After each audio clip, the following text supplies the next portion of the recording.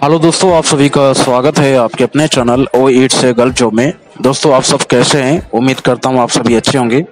दोस्तों, मैं आज बात करने वाला हूँ इजराइल का जो वीज़ा है, उसके बारे में मैं बात करूँगा। और इसमें दोस्तों, डिटेल से आपको बताने वाला हूँ कि अभी इजराइल में थोड़ा प्रॉब्लम हुआ है। जो इंडिया के लोग गए हैं, उनके उनके कारण प्रॉब्लम हुआ है। तो आप इस बात का ज़रूर ध्यान रखें कि आपके कारण प्रॉब्लम नहीं हो अगर आप इजराइल जा रहे हैं तो। इस बात का ज़रूर ध्यान रखें। इसके बारे में मैं डिटेल से बात करूँगा। इसमें दोस्तों बहुत सारे जो कैंडिडेट हैं, उनकी थोड़ी वो जो कहते हैं ना, मानसिकता थोड़ी अलग टाइप की होती है। वो जब तक इंडिया में रहते हैं, तब तक उनका दिमाग में ये रहता है कि हम एक बार बस चले जाएँ, बाहर चले जाएँ, इंडिया के बाहर चले जाएँ। जैसे इजराइल जाने वाले जो कैंडिडेट हैं, सब कैंडिडेट वैसे नहीं होते दोस्तों, लेकिन कुछ ऐसे होते हैं जो ऐसा सोचते हैं कि बस इजराइल एक बार चले जाएँ, उसके बाद में इजराइल हमारा हो जाएगा। ऐसा वो सोच के बैठे होते हैं और इजराइल जाने के बाद में वो अपना रूप रंग जो होता है ना, वो चेंज कर लेते हैं। आप समझ रहे होंगे मैं क्या बोलना चाह रहा हूँ? वो अपना रूप रंग चेंज कर लेते हैं। रूप रंग चेंज करने का मतलब ये अच्छा होता है कि यहाँ पे जब तक रहते हैं, तब तक तो रोते रहते हैं। कि भाई मेरा काम हो जाए, एक बार मेरा काम हो जाए, एक बार वीज़ा लग जाए और एक बार मैं वहाँ चला जाऊँ, उसके बाद में मैं आराम से वहाँ काम करूँगा। लेकिन वहाँ पे जाने के बाद में उनकी मानसिकता अलग हो जाती है। फिर वो ऐसे सोचते हैं कि अब मैं यहाँ पे आ गया, अब हमारा कोई कुछ बिगाड़ नहीं सकता। हम जैसे चाहें वैसे यहाँ पे कर रहेंगे, जैसा चाहे वैसे यहाँ पे रहेंगे। कुछ भी करेंगे, कुछ भी नहीं करेंगे, अपनी मर्ज़ी रहेगी। तो दोस्त, एक बात बता देता हूँ, जो भी कैनेट इजराइल जाने वाले हैं और जो चले गए हैं दोस्त, एक बात का ज़रूर ध्यान रखना। आप इजराइल गए हो, चार से पाँच लाख रुपए लगा के गए हो। तो ऐसे काम बिल्कुल भी मत करो जिसके कारण आपको इजराइल कंट्री बैन कर दे या फिर आपको वापस रिटर्न भेज दे। क्योंकि अभी कई कैंडिडेट को वहाँ पे नोटिस मिल चुका है। आपको जैसे कि न्यूज़ मिली होगी, सूचना मिली होगी। उस न्यूज़ और सूचना में दोस्तों, राजस्थान के कुछ कैंडिडेट जो हैं उनको दोस्तों नोटिस दिया गया है, इजराइल जो गवर्नमेंट है, कंपनी है, उनके द्वारा। दोस्तों तो ये सबसे गलत प्रभाव पड़ेगा हमारे इंडिया के जो वर्कर हैं, उनके ऊपर। तो ऐसा बिल्कुल भी नहीं होना चाहिए, इस बात का ज़रूर ध्यान रखें। आप चार से पाँच लाख रुपया लगा के गए हैं, आप वहाँ पे कमाने गए हैं, न कि आप वहाँ पे जा करके मनमर्जी करने गए हैं, दोस्त। अगर ऐसा करोगे तो आपके लिए भी दिक्कत होने वाली है और फ्यूचर में आपके जो फैमिली मेंबर हैं, उनको भी प्रॉब्लम का सामना करना पड़ेगा और इसके अलावा जो इंडिया के जो अदर वर्कर जो हैं, उन पर क्या इफ़ेक्ट पड़ेगा ये आपको पता होना चाहिए। अभी राजस्थान के जो कैंडिडेट हैं, उनको नोटिस जारी किया गया है और उनका जो है, एक बार नोटिस जारी करके उनको एक बार बोल दिया गया है कि अगर आप दोबारा ऐसा कुछ करते हैं तो आपका वीज़ा कैंसिल करके इंडिया भेज दिया जाएगा। और उसके पीछे रीजन क्या है, कारण क्या, वो मैं आपको बता देता हूँ। दोस्तों, राजस्थान के कुछ कैंडिडेट के कारण थोड़ा ये प्रॉब्लम चालू हुआ है, जिनमें उन्होंने वहाँ पे जाने के बाद में उन्होंने वहाँ पे दारू पी है। दारू पी करके वहाँ पे वो जैसे अपने इंडिया में देखते हो ना बड़ी बड़ी सिटियों में कई जगह ऐसी छोटी छोटी सिटियों में भी आप देखते हो शाम को कई कैंडिडेट ऐसे होते हैं जो दारू पी करके इधर उधर पड़े होते हैं, नाली नल्ले में पड़े होते हैं। वैसा ही सिचुएशन वहाँ पे उन्होंने क्रिएट किया है। और उन्होंने क्रिएट किया है, राजस्थानी जो कैंडिडेट हैं, उनके द्वारा ये हुआ है। तो दोस्त, एक बात बताओ, आप वहाँ पे पैसे कमाने के लिए गए हो, आप वैसा काम अगर करोगे तो आपका जो पाँच लाख रुपया यहाँ पे आप दे के गए हो, उसका आपका जो नुकसान होगा, वो तो होगा ही होगा।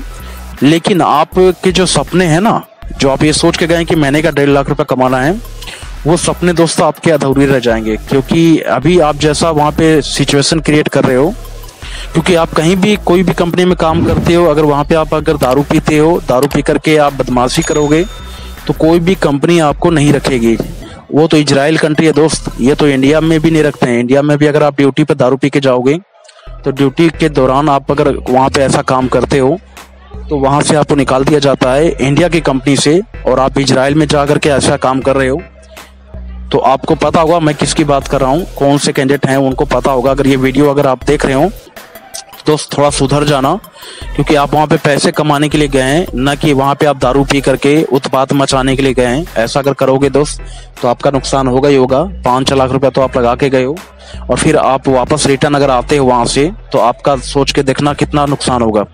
डेढ़ लाख रुपया महीने की सैलरी जो आपको मिलने वाली है, उसका नुकसान करके आओगे। और जाने का दो तीन महीना आपने टाइम खराब किया उसका नुकसान होगा।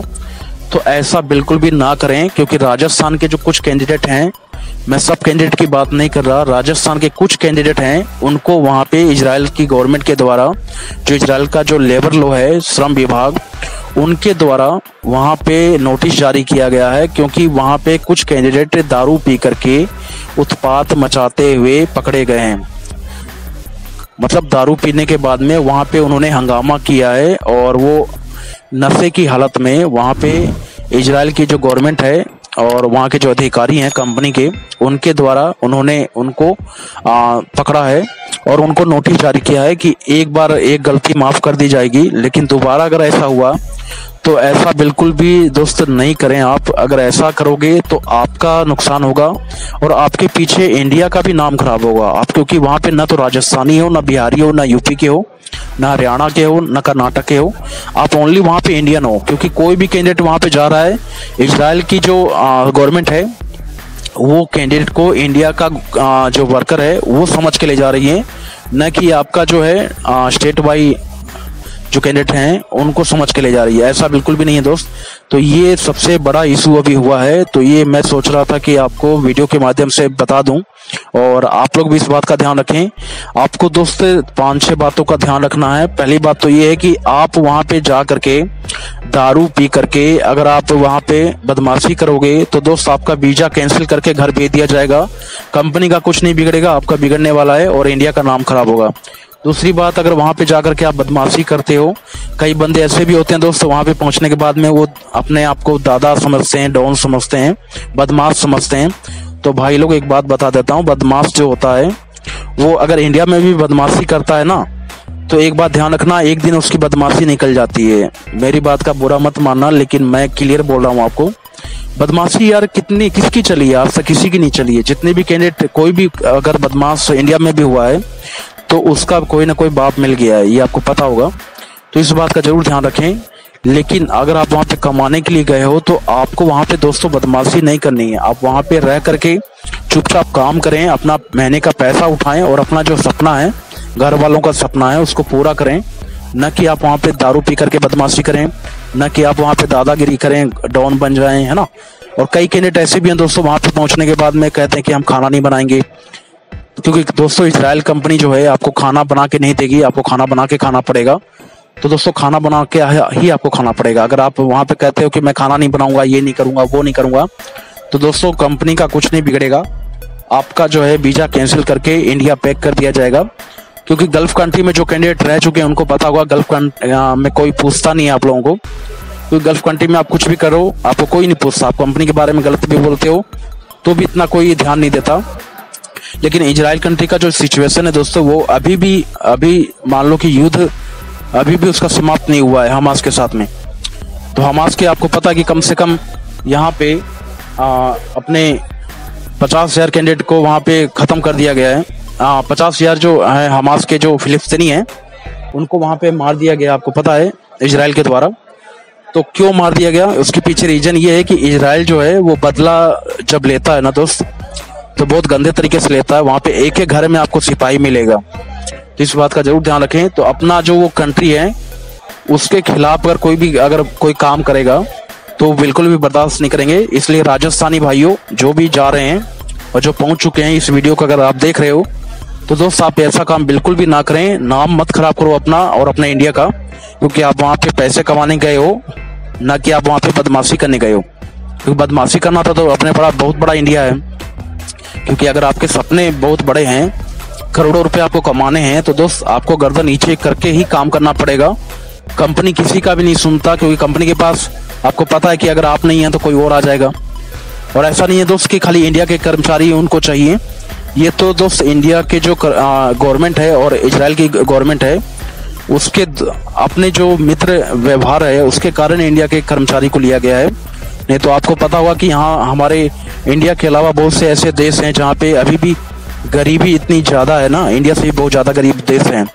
अगर इजराइल चाहे तो वो वहाँ से भी कैंडिडेट को उठा सकता है वर्कर को उठा सकता है।